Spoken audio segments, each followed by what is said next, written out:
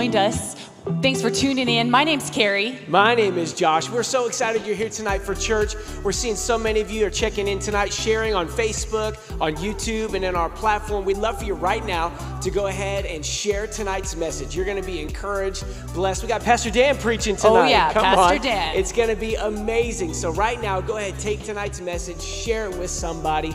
And uh, I hope you're out there staying cool. It's getting hot, isn't it? Yeah. And I know one of my favorite ways to stay cool when it gets hot is to go get a Chick fil A frosted lemonade. Come on, somebody. Oh, yeah. And so, Carrie, tell us about our giveaway tonight for people that check in. Yeah.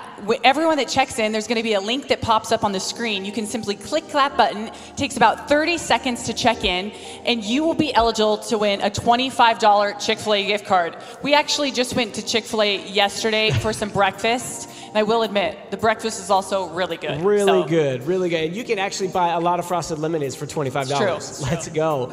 Well, hey, we got a lot of great things that are coming up here at Eastridge Church. And, and hopefully you do take a moment, check in, let us know you're here. But there's a couple of other things that we would love for you to participate in.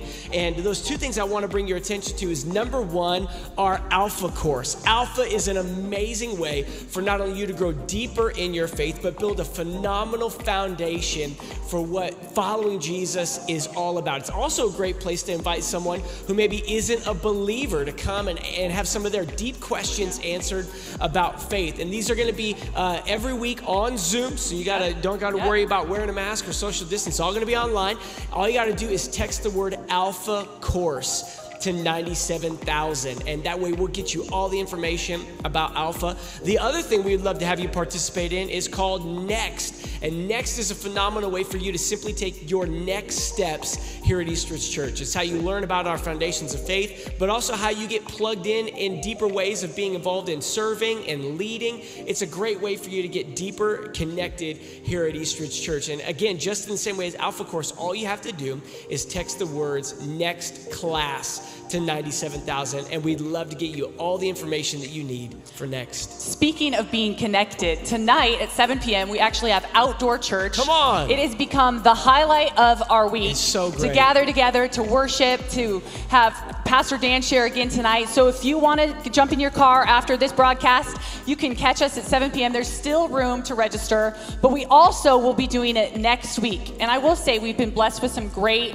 weather for outdoor church. So And, man, don't bring, miss bring it. the fan, bring the SPF. It's gorgeous tonight. So come hang with us. Big shout out online to the Norris family who's joining us. Candace who's joining us from Florida. I saw Ron Brown, Julie Steven. We're so grateful you're on here tonight. And we do want to remind you not only share tonight's message, but also take a moment and check in. Checking in is just a simple way to let us know you're here, help us better serve you, stay connected with you, and uh, also get a chance to enter in to win that That's true. $25 $25 to Chick-fil-A. Chick-fil-A. Yeah.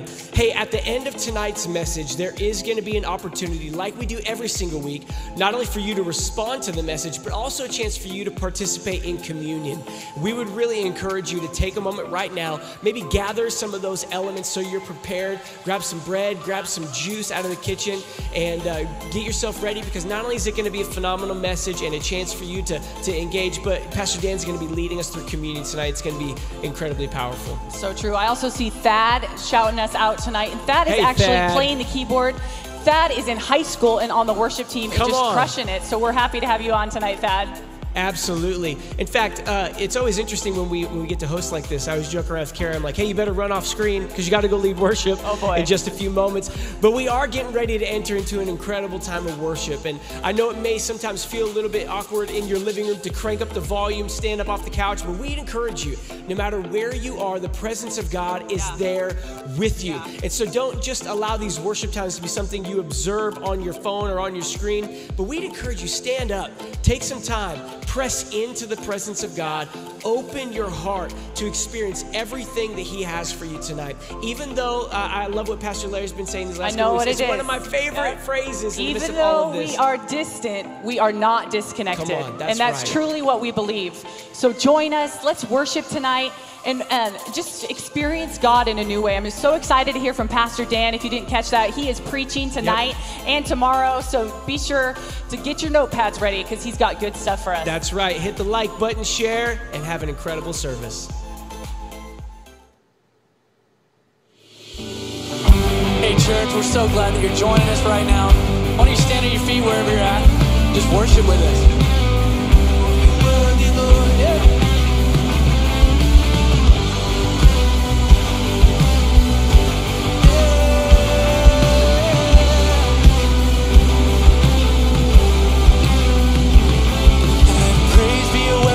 Weapon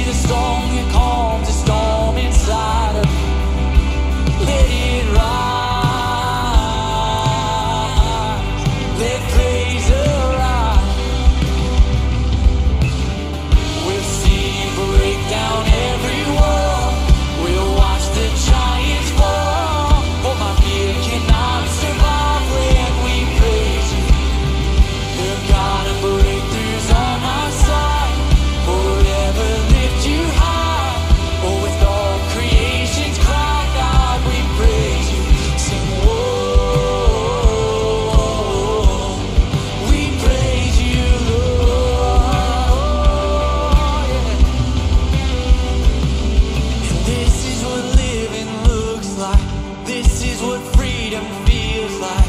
This is what heaven sounds like. We praise you, we praise you, and this is what living looks like. This is what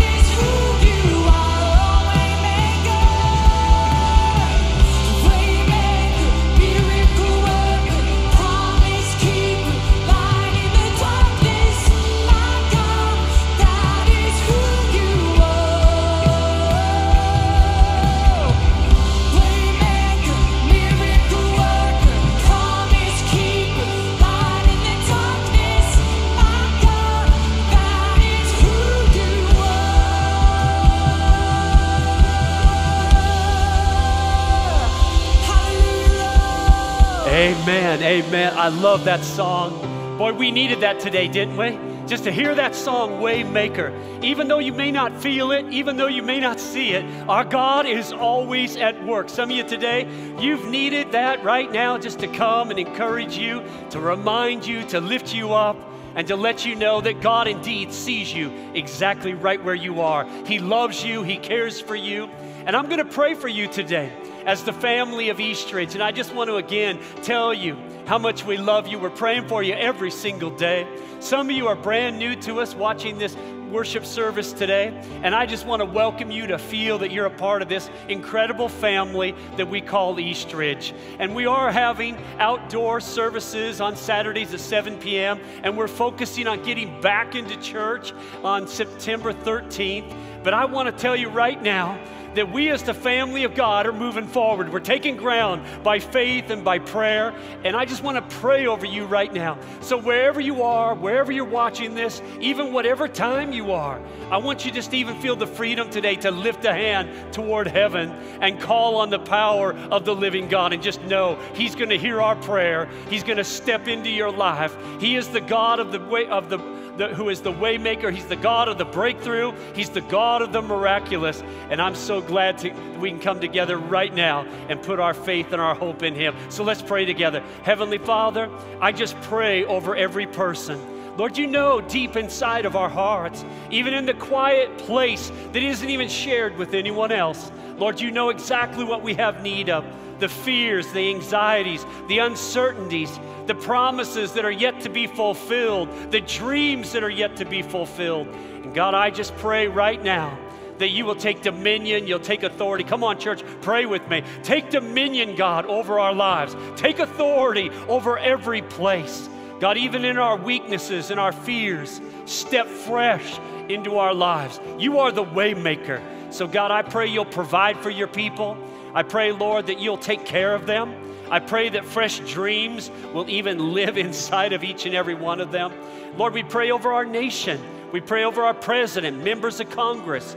We pray, Lord, over our governor and those in authority over us. God, we pray that you will begin a healing process in our nation, even in our streets, dear God. Let the name of Christ and the message of Jesus go forth in our day and in our time. That God, we could see you bring people to a place of miracles and breakthroughs. And we just give you thanks today, God. We give you praise in Jesus' name. Can you give a big amen? Amen and amen. God bless you.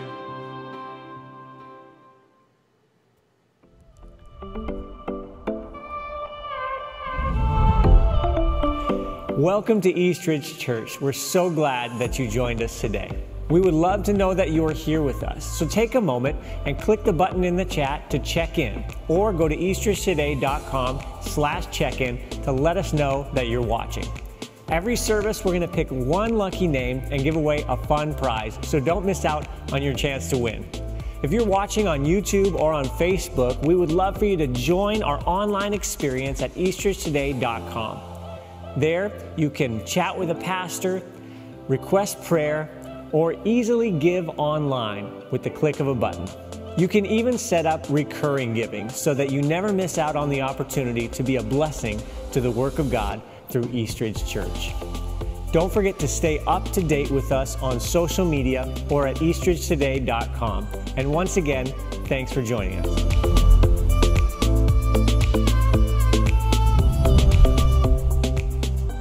It is such a joy, such a privilege. Every single week, we're looking forward to this moment where we can gather together in the name of the Lord. So, welcome. Thank you for being here today. You're going to get a great word right out of the scripture. We're in our series, Living Hope. But before we get into the word today, I want to lead us in one of the high places of worship in our lives. We've lifted our hands today, we have sung our, our heart and our worship unto God. But there's a big place also, and some of you may who are brand new to faith or brand new to church, you may not know this, but a great and important place of worship in our life is what we know as generosity or giving back unto the Lord. Basically, what the Bible teaches us is that God is the author of our life. He gives us what is most important, first of all, that is salvation, a new relationship with God. But then He also promises to walk with us, to talk with us. Aren't you glad for that? And to take care of us, to meet every need that is in our lives because He loves and He cares for us.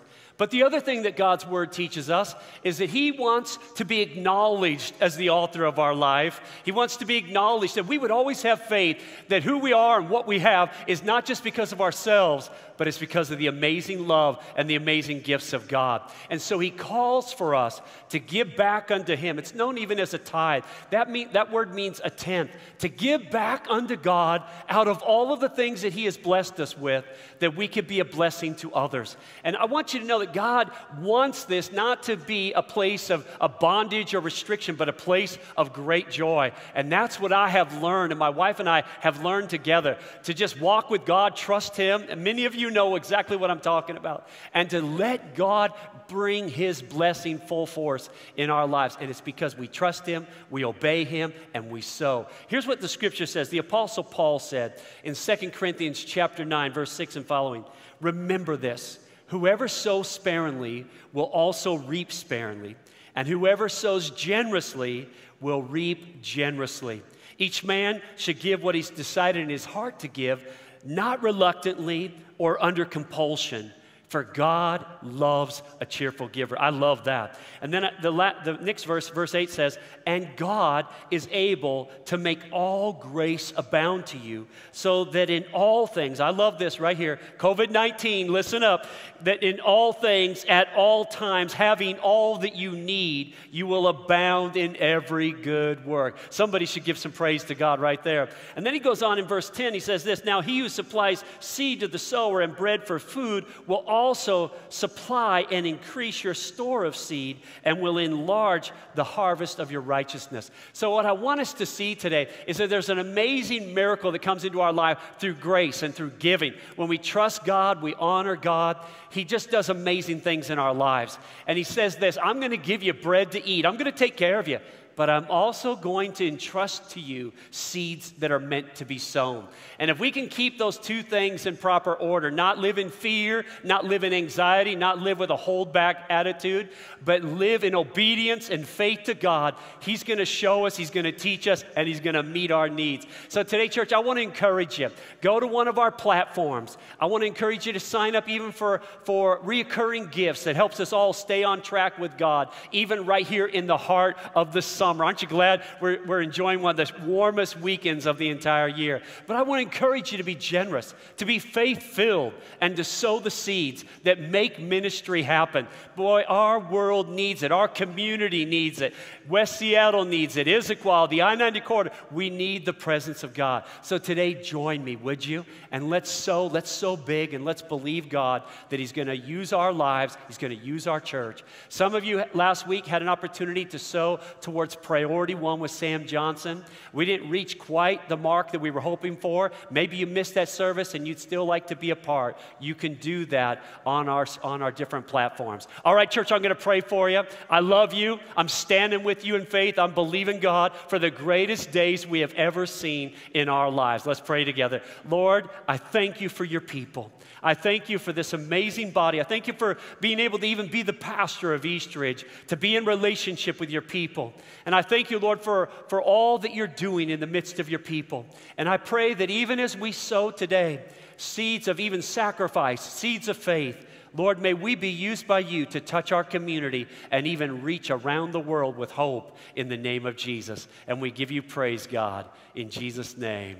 Amen and amen. God bless you. Thank you so much for your faithful giving.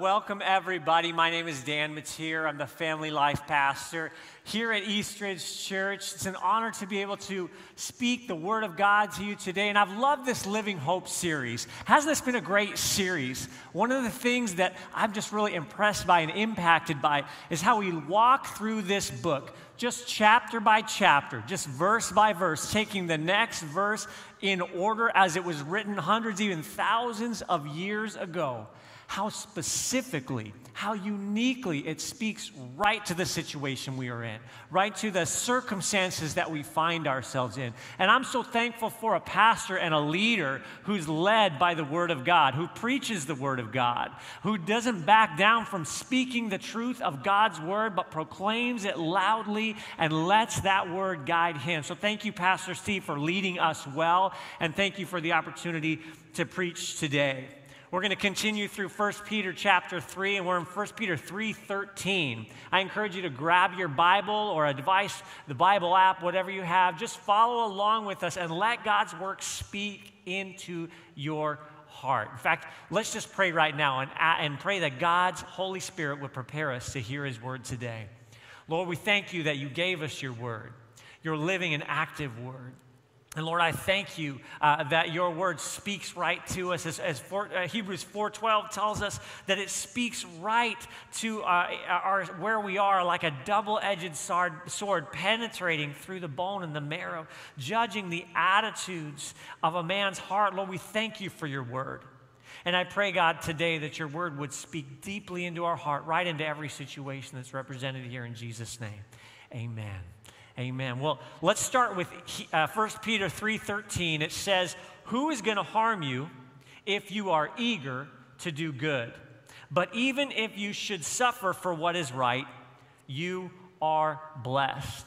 Remember where we are in this book, this letter of 1 Peter. It was written by Peter to encourage the believers scattered around the world, around Asia Minor, as an encouragement to them, new believers who are finding themselves under persecution and suspicion from government, uh, from their society, even some of them from their very own household members. And Peter writes this as an encouragement. And as Pastor Steve preached last week earlier in this chapter, he said, that, that as they live out the calling that God has given to them, that they should be sympathetic that they should love one another, to be compassionate and humble. And here he says, do good.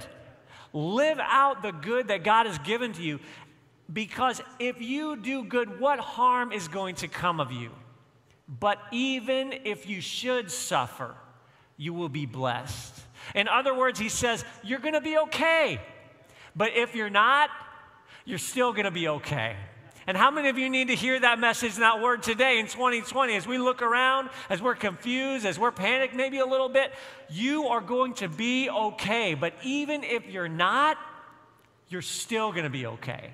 I found myself saying this uh, to myself over and over in a unique circumstance I was in this past week uh, my wife and I got to spend a really beautiful uh, little, little getaway at a, a place called Diablo Lake in the North Cascades. And I drove by this a few years ago. And, the water in Diablo Lake is this bright, brilliant turquoise blue. It's amazing. And I, just as I was driving through, I said, I got to come back here. This place is awesome. Then I found out that on Diablo Lake, they have campsites that you cannot get to in a car. In fact, you can't even get to them on foot. The only way you can get to these campsites is by non motorized boat, a canoe or kayak. And when I heard that, I said, Count me in. That sounds awesome. Now, my wife is the more cautious in our relationship, a little, a little bit, you know, more concerned, thinks through the details of things. Well, I'm just headstrong, let's go do it. She said, You know, that does sound like fun, but what happens if we were to tip over, if we were to capsize? What happened if all of our stuff washed away? If our boat sinks to the bottom of the lake, where do we go? What do we do? And I kind of looked at this and researched this, and, and then we came to a point, she came to a point where she said, Okay, that sounds awesome. Let's give it a try. So we did it. We went out, and I said, You know, you don't have really anything to worry about. It's not like it's a river, it's not like we're going to run into rapids, right? It's a lake. How bad could it be? It was a lake. So we put all of our stuff, our camping stuff, in this canoe and we paddled out and it was beautiful. This is just a few days ago. So beautiful. But as we paddled out of the cove and turned the corner, we hit a huge headwind, bigger than anything I'd expected. And if you're in a, on a hike or in a car, a wind's not that big of a deal. But when you're in a canoe with two people and hundreds of pounds of stuff, it's kind of a big deal. Well, maybe 100 pounds of stuff. We started to rock back and forth. We had to turn the canoe into the waves so that we wouldn't tip over, and water started coming up over the bow of the boat with these white capped waves. Rebecca went from paddling to bailing water out of the boat, and she kept saying, Are we going to be okay? I said, Don't worry, we're going to be okay. And that went from, We're going to be okay, but even if we're not, we're still going to be okay because we had life jackets, right? And we had extra life jackets in case those failed us, and we had dry bags. But then we started talking like this What are we going to do if we do capsize? Where are we going to go? How are we going to get to shore? And at one point, she asked me, What are you going to miss most if everything we brought sinks to the bottom? And I realized this could be a very different trip than I thought it was going to be. Now, the end of the story is this we got there safely and had a fabulous time, even though there were eight or nine places where I thought we were going to tip over. But we had to come to this way of thinking we're going to be okay. But even if we're not, we're going to be okay because there's another level of preparation. Now, maybe it's not going to look like we thought it was going to look. Maybe things are not going to be as we expected them. And maybe we're going to lose some superficial things along the way, but it's going to be okay. And that's the message that Peter is preaching to the church here. Church, it's going to be okay, but even if it's not, you will be blessed. Your job is just to keep on doing good, just to keep on doing what you know is right. If you suffer, God will use it. Because we know, right? We know that if we do wrong, there's consequences for that. There's consequences from the law, there's consequences from our society. If we do wrong, there's consequences for that. But if we do right and we suffer for it, God sees that. And God is not going to waste that because God has a good plan. He has a plan for your life. It's a, a, plan that has a hope and a future, and it's an efficient plan. God is not going to waste anything like that in your life. If you suffer for doing good, God will use it for His good. So that message to Peter that, that Peter was saying to the church is a message for you too. You're going to be okay. If you stick to God, if you keep following His word, keep following after Him, you're going to be okay. But even if you're not, you're still going to be okay. Now, the word that he says, that Peter says, is uh, that we should be eager to do good. That word eager is the same word, Greek word that they use for zealots, that we should be zealous to do good. We should be passionate to do good. We should be excited about it. We should plan to do it, dream to do it. And, church, imagine what the church would look like if we all woke up in the morning eager, zealous to say, God, how can I do your good today? In spite of whatever comes. Whether I suffer for it or not, I want to do your good, not passively, but zealously actively, passionately. That's what we've been called to do, church. And that's what we've been called to live out. As we look back in the scripture in verse 14, it says in 1 Peter 3 14, do not fear their threats. Do not be frightened, but in your hearts revere Christ as Lord. This is a test of our motivation here. Because if we're motivated out of fear, we can't zealously do good that passionate good does not come out of fear. It's got to come out of Christ. And Christians, we cannot be motivated by fear because we put our hope in Jesus. Right? That's what a Christian is. We put our hope in Jesus. And hope means trust. We put our trust in Jesus. And if we are trusting in Jesus, means we are acknowledging and believing He's got the plan, He's in control, He's all powerful. Therefore, there can be no fear on our part if we trust Him. If we trust that He is who He says He was, He is, that we believe who He says He is, we cannot operate out of fear. This is a litmus test for our own faith.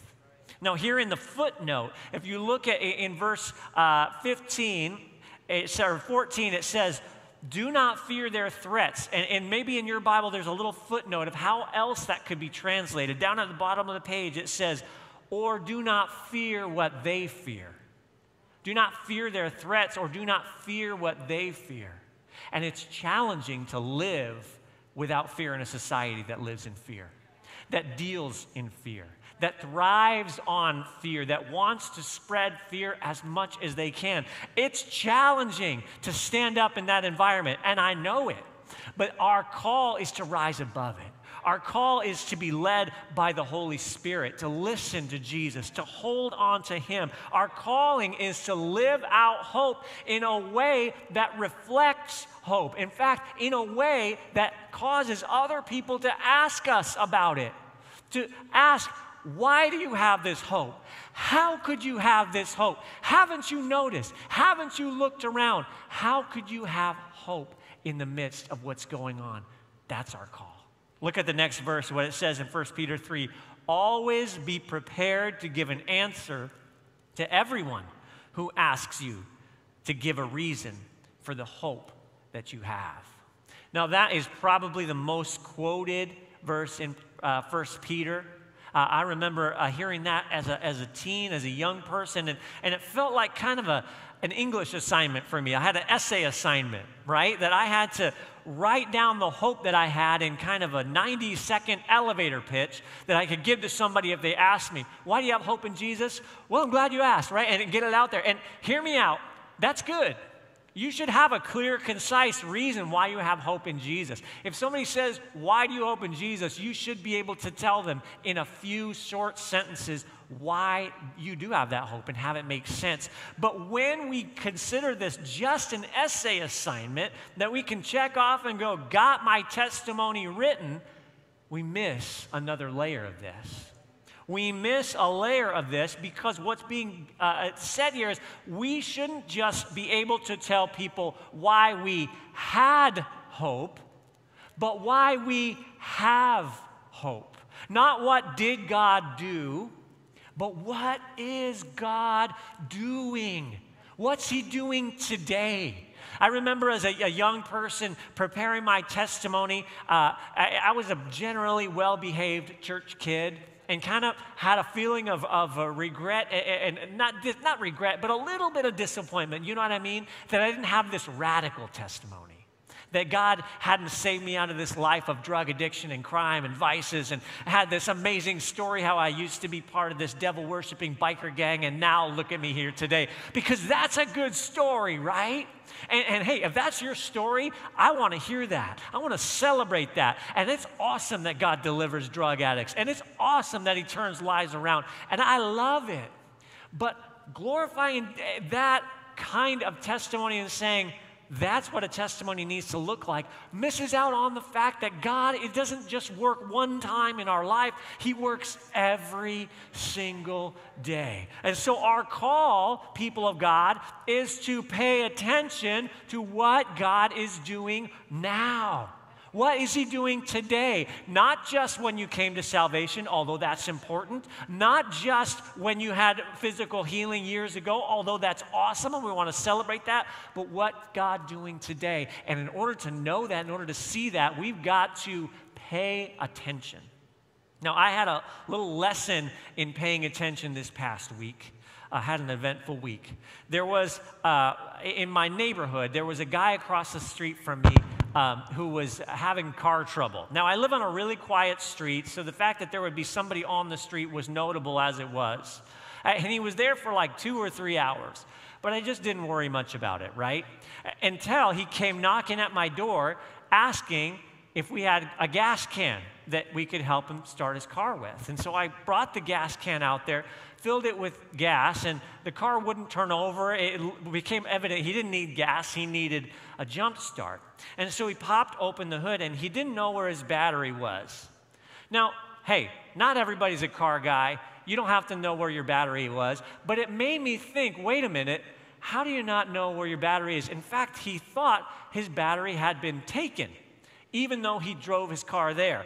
I don't know a ton about cars, but I know your car doesn't work if it doesn't have a battery. So I started to suspect something was up.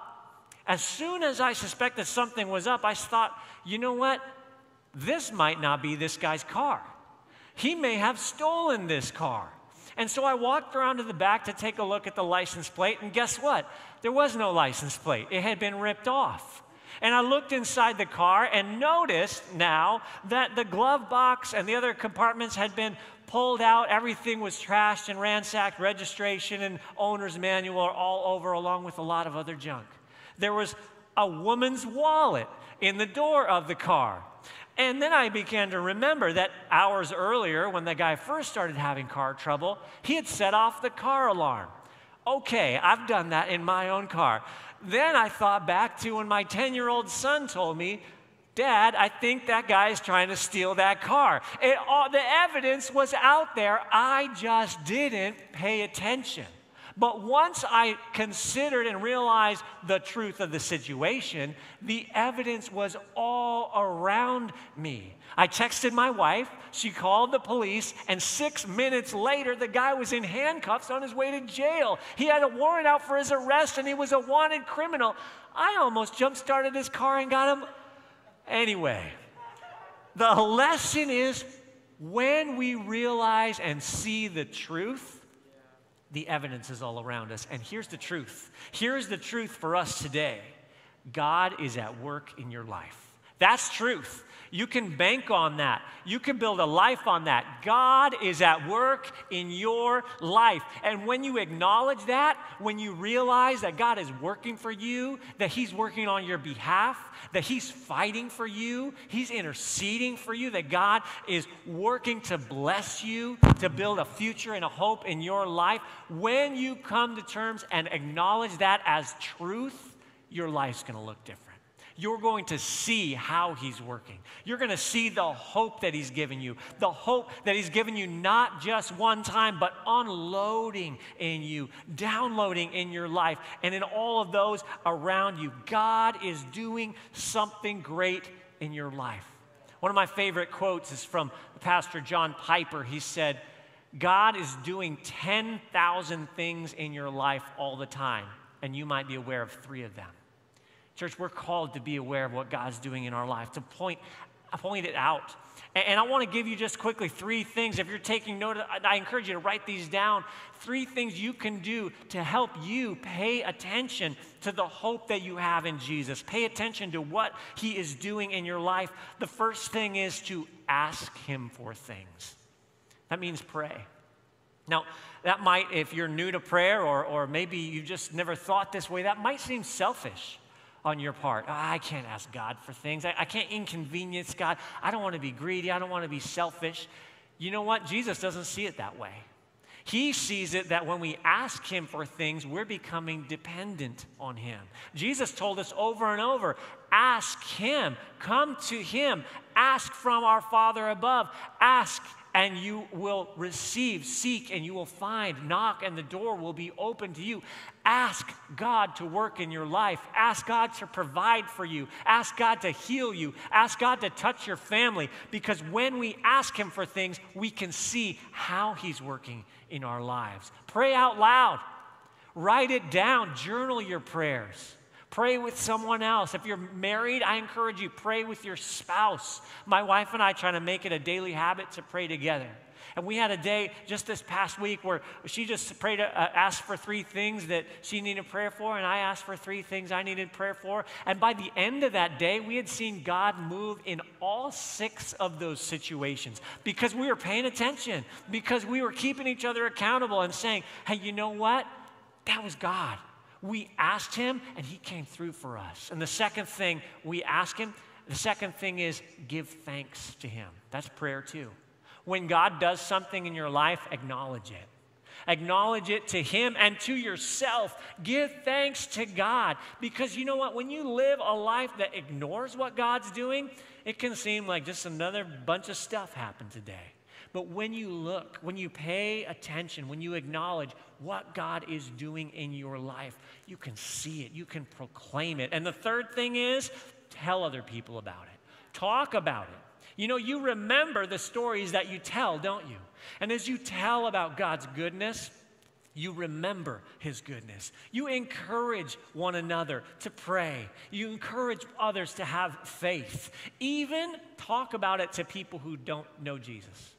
Talk about what God's doing in your life to non believing friends because it will give them a reason to ask you about the hope that you have. In fact, think about this. Do you know what the word agnostic means? Some people identify themselves as agnostic. Agnostic means there may be a God, but there's just no way of knowing. If that is how people feel who are unbelievers, they feel that there may be a God, but there's no way of knowing, let's give them a way of knowing. Let's show the hope. Let's talk about the hope. You know what? I think we are closed off more than people want us to be about what God is doing in our life. They may be wanting, be, maybe wanting you to talk about your faith in God, even though they don't know how to have it or what to do. They want to know that you have faith, that this God you believe in is alive, that He's working, that He's working on your behalf. So talk about it. Let's look at the next verse, uh, verse 15. Uh, continuing on with verse 15, it says, But do this with gentleness and respect, keeping a clear conscience, so that those who speak maliciously against your good behavior in Christ may be ashamed of their slander. For it is better, if it is God's will, to suffer for doing good than for doing evil. See, we are called to proclaim this hope that we have in a way that displays gentleness and respect. And it is uh, easy to talk about what God is doing in your life that does just the opposite, that talks about bitterness and mockery, that doesn't draw people in to ask us about the faith that we have, but pushes people away. We need to constantly be rem- reminding ourselves to do this in gentleness and respect, to talk about the hope that we have with not bitterness, not mockery, not condemnation of others, but in a way that draws them in. I want to get specific just briefly in a few things and remind us it is good for us to be involved in politics. Church, you should vote. You know that? You should vote. And if God so leads, you should run for political office. But politics cannot be our source. It cannot be uh, what guides our worldview because politics, as a general rule, does a really poor job in gentleness and respect. Church, it is good for you to be connected with what's going on in the news what's going on in news media, to be aware of what's happening in our world. That's good. You should do those things. But that cannot be your source. That cannot be your foundation. That can't be your guide. Because, as a general rule, news media does a really poor job at gentleness and respect. You should stay connected on social media. That's a good thing. You don't have to, but if you want to, that's awesome. Share your cat videos, share your pictures from the beach, but we can't get tangled up in silly arguments with people we may or may not have ever met because it doesn't draw out gentleness and respect. Our source needs to be Scripture. Our source needs to be the Holy Spirit. Our foundation needs to be what we hear from our pastor, from other Christian brothers and sisters, encouraging one another and building one, each, uh, one another up in the faith. And we need to be asking ourselves as believers what's influencing you? Where's your worldview coming from? Where is your direction coming from? because it should be from the Holy Spirit. And when, it, there, it, when it's from the Holy Spirit, we will flow with gentleness and respect. And there will be peace in us, not emptiness, not a feeling like we've been defeated or we've given in, but gentleness and respect for our brothers and sisters. Now, church, Peter tells us uh, that we need to do this in a way that doesn't repay insult for insult that doesn't repay uh, evil for evil, but does this in kindness and sympathy. And the reason he encourages this over and over through this chapter is he knows our temptation is to be the one who delivers the consequence. That's our, that's our temptation as, as people, isn't it? If somebody wrongs us, we don't want to just see them wronged. We want to be the one that delivers that wrong. We want to be the one, that's our, our natural fleshly temptation, who delivers the consequences. But Peter's reminding us of something we need to remind ourselves of that's not our job. That's God's job. Our job is to do what we know is right and let Him deliver the consequences and let Him bring justice in the world. As we follow the example of Christ and we do what is right and let God take control. Because when we try to take control, we try to take God's spot.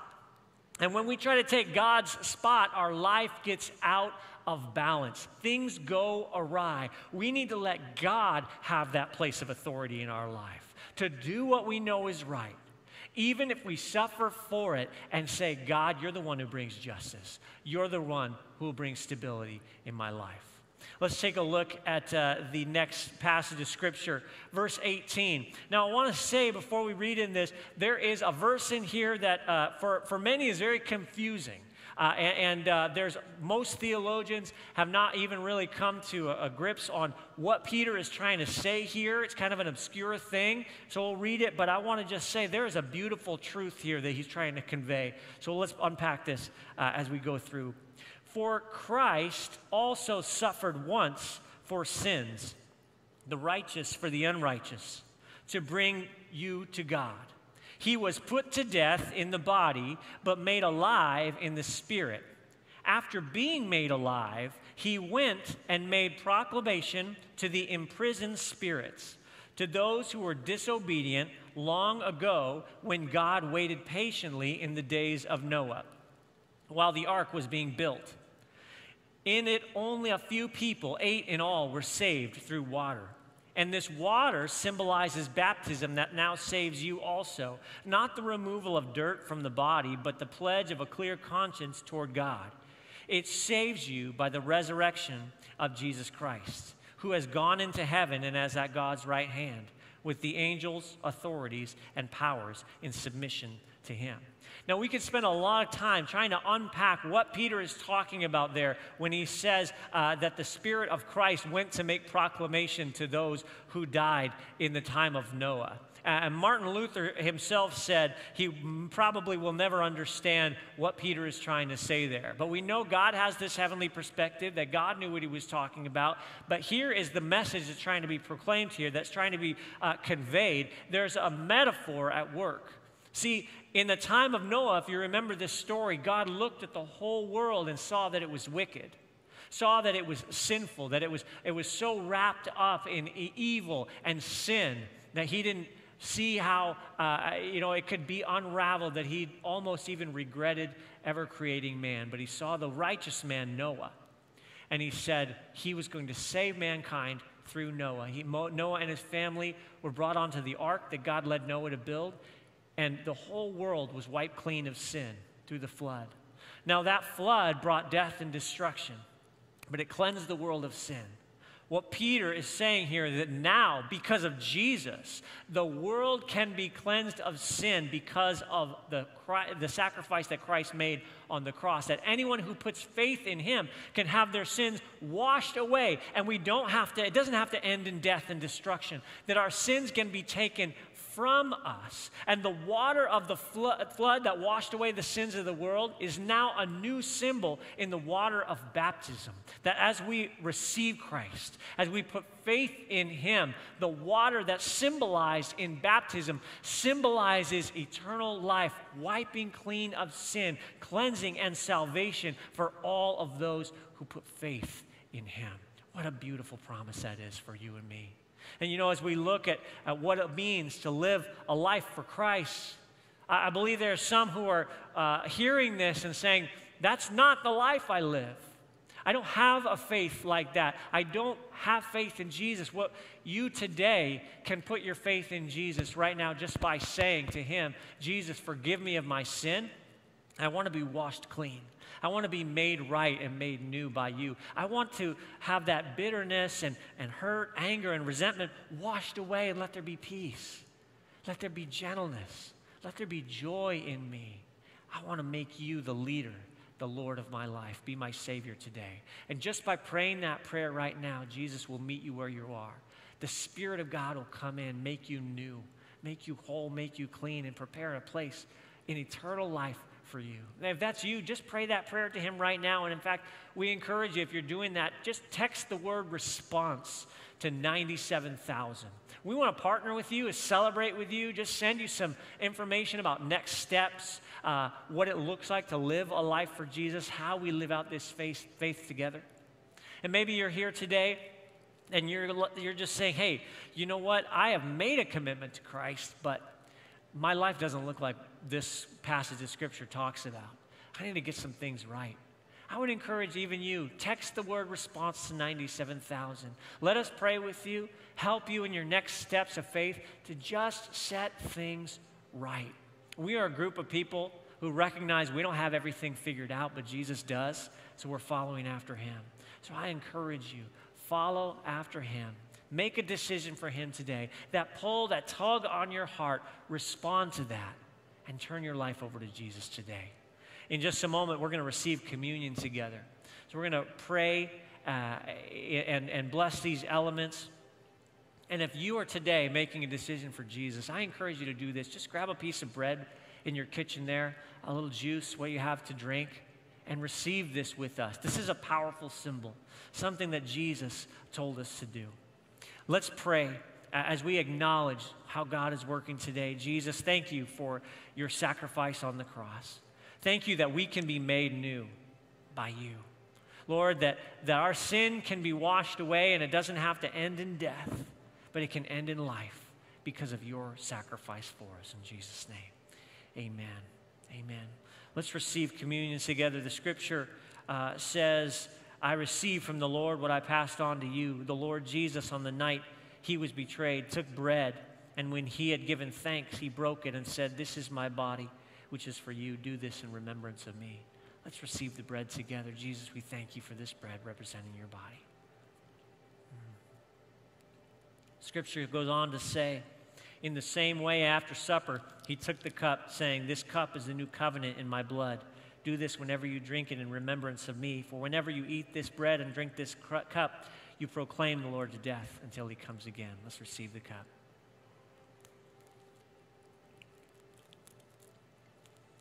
Jesus, we give you thanks and praise. We honor you, that you are the leader of our life. We pray that you'll bless our church, bless our nation, bless our community, and help all of those who follow you to be a blessing to others. Help us to remember what you've done, what you've done for us, and to follow your example every day in Jesus' name. Amen. Thank you so much for being with us today. We encourage you share this message, invite somebody else to hear it. The power of the gospel has no limit. God is at work. Let's let him be at work through us. God bless you, church.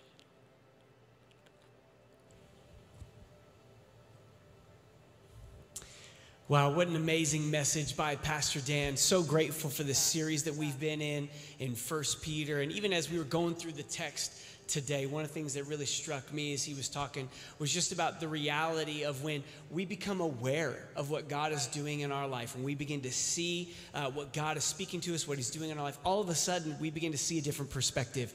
And we can begin to see the ways that God has been moving, see his fingerprints, and all of the different things that he's been doing in our life. Yeah, and I was also struck by the conclusion point he drew with just the cleansing power of Jesus yeah. and how no matter what we have come from, because of the, the grace and the sacrifice Jesus made for us, that we can be made new today. Yeah. And maybe that's you. Maybe you took a step of faith. Maybe you responded to that prayer Pastor Dan just prayed. I just want to encourage you once again to text the word response to 97,000. Just a simple word, but we will we would love to follow up with you and pray for you. Uh, one of our pastors is going to call you, and we just want to celebrate the decision that you've made today. Yeah, that's right.